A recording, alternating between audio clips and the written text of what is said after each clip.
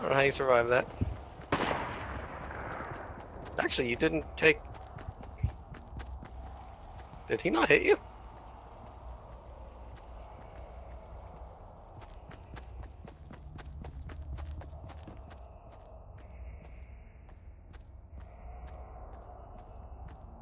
He's moving down the hill, yeah?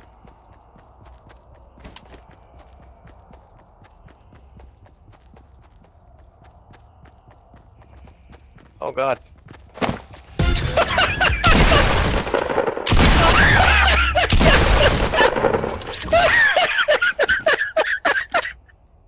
You're the worst person in the world! I was wondering what the fuck you were doing! That was so good, holy shit!